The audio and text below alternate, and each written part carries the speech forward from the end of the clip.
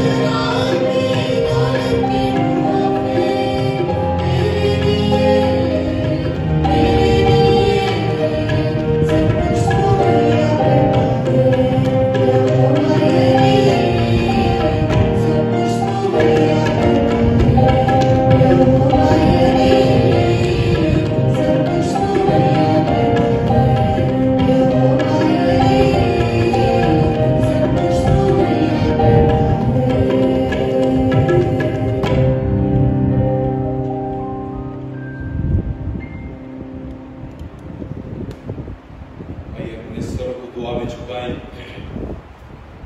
और अपनी मुनाजात खुदावंद